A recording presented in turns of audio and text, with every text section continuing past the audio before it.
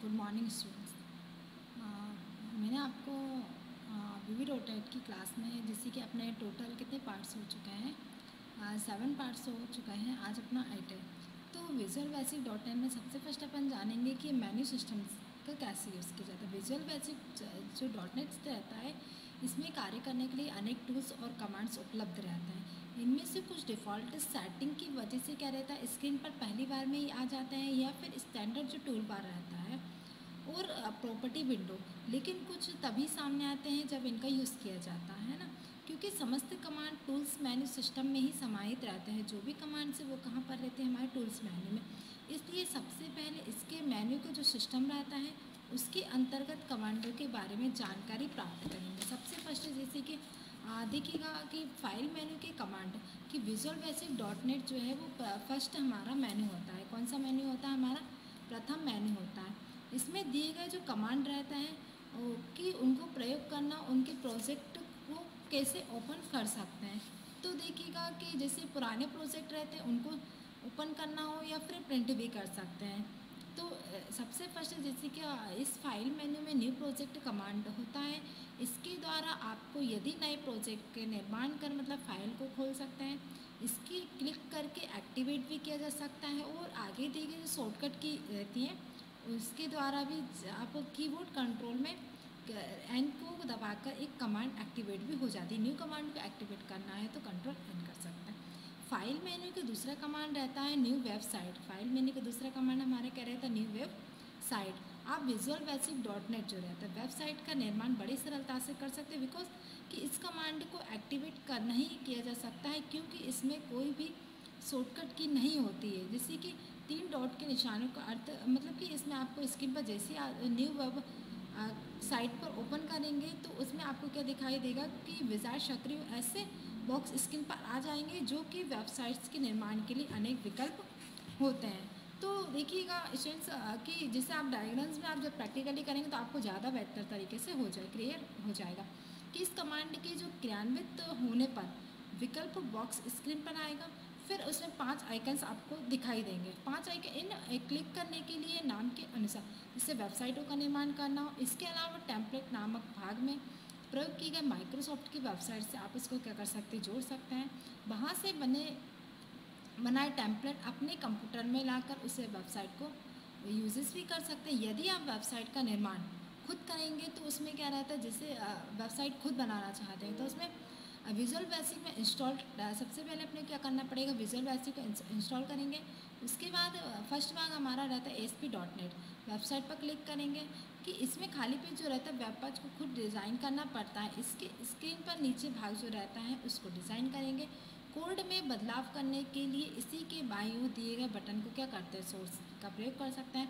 चूँकि file menu के तीसरा कमांड रहता अपना ओपन अभी तक अपन ने कितने कमांड पढ़े थे? दो कमांड पढ़े थे। ये हमारा है लास्ट कमांड जो कि ओपन प्रोजेक्ट इस कमांड को प्रयोग करके आप पहले से बने प्रोजेक्ट को खोल सकते हैं। इस संस्मरण में बने प्रोजेक्ट या किसी भी पुराने संस्मरणों को कमांडों के द्वारा खोलेंगे और इसे कीबोर्ड के द्वारा एक्टिवेट करने के लिए कंट्रोल के साथ की बटन को दबाएँगे, ठीक है? आगे देखेंगे कि जैसे कि विजुअल बेसिक डॉट नेट के फ़ाइल मेन्यू में जो हमारा फोर्थ कमांड रहता है, उसमें बने वेबसाइट्स को खोलने के लिए कमांड में ओपन वेबसाइट होगा। इस ऑप्शन पर बॉक्स जो रहता है, वो उसमें इस्तेमाल करना वेबसाइट्स को आपको ओपन करना चाहते हैं, खुलने के पश्चात कार्य की आवश्यकता के अनुसार उनको परिवर्तित करना। तो परिवर्तित करने कार्य को दूसरे कमांडों पर क्या रहता है टूल्स के द्वारा उसमें कर सकते हैं। फ़ाइल मेन्यू का हमारा पाँचवा काम अभी तक हम कितने, चार कमांड पढ़ चुके हैं।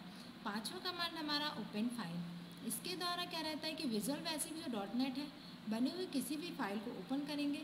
यहाँ पर क्या रहता है कि ओपन प्रोजेक्ट कमांड पर यही कार्य करता है और इस कमांड की आवश्यकता होती है कि ये यहाँ पर एक बात स्पष्ट होती है कि समझने के लिए प्रोजेक्ट कई प्रकार की फ़ाइल रहती है, जैसे फॉर्म बनानी फ़ाइल, कोड फ़ाइल, ऐसी किसी भी फ़ाइल को कमांड के द्वारा खोल सकता है।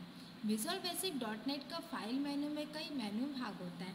इससे पहले और दूसरे में जो समस्त कमांड होता है, उनके बारे में जानकारी जाए जैसे कि आपके तीसरे कमांड में आपको एड नामक कमांड दिया गया था, जो कि माउस पॉइंटर को ले जाएँगे और स्क्रीन पर क्या करते हैं, उस मेनू में चित्र की तरह आ जाता है।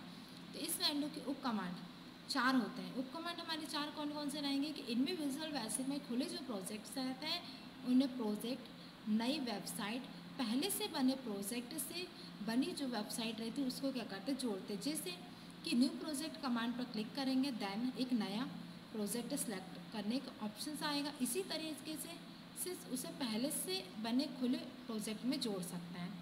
फ़ाइल मेन्यू के तीसरे भाग में ऐड के साथ क्लोज नामक कमांड होता है। इसका प्रयोग खुले प्रोजेक्टों और फ़ाइल कमांडों के लिए बंद करने के लिए किया जाता है। इस पर क्लिक करने के लिए प्रोजेक्ट और फाइलों को क्या करते हैं? बंद करने के लिए और प्रारंभ करते हैं। क्लोज कमांड के पश्चात जो क्लोज प्रोजेक्ट रहता है, उस कमांड होता है इसका प्रयोग बाद में खुले गए प्रोजेक्ट को बंद करने के लिए भी किया जाता है। फिर आप क्या करते हैं? कमांड पर क्लिक करेंगे। कमांड पर क्लिक करेंगे। फिर बंद करने से क्या रहता है? अपने जैसे ही आप उसे बंद करेंगे तो आपकी स्क्रीन पर एक मैसेज आ जाता है, जिसमें लिखा रहता है, इस प्रोजेक्ट को बंद करने से पहले सेव कर सके। या तो आपको जैसे सेव करना है तो यस कर देंगे, नहीं करना है तो नो बटन पर क्लिक कर देंगे। यदि आप इस बटन पर क्लिक करते हैं, प्रोजेक्ट सेव होने के बाद बंद होगा। इसी तरीके से नो बटन क्लिक करने के प्रोजेक्ट क्या हो जाता है पूर्ण? सेव प्रोजेक्ट बिना सेव हुए बंद हो जाएगा। चूँकि क्लोज प्रोजेक्ट के बाद फ़ाइल मेन्यू जो रहता है, उसमें प्रोजेक्ट की जो फ़ाइल रहेंगी, उनको बंद करने के लिए संबंधित तीन कमांड होता है। पहले कमांड को सेव के रूप में प्रयोग किया जाता है, जो प्रोजेक्ट सेव कर सकते हैं। इसका कार्य करना कि कमांड को कीबोर्ड में प्रयोग कर सकते हैं और कंट्रोल की के साथ एस दबाएँगे। चूँकि ये सेव हो जाएगा। आप जिस प्रोजेक्ट में कार्य कर रहे हैं, उसे एक बार सेव कर चुके हैं, लेकिन किसी, मान लीजिए कि वो ना, नए नाम से सेव करने की ज़रूरत है फिर दूसरे कमांड में सेवेस का प्रयोग करना होगा तो खुली हुई जो फ़ाइल रहेंगे, उनके प्रोजेक्ट को एक सेव करने के लिए और सेवर नामक कमांड पर यूज़ करेंगे। कीबोर्ड से भी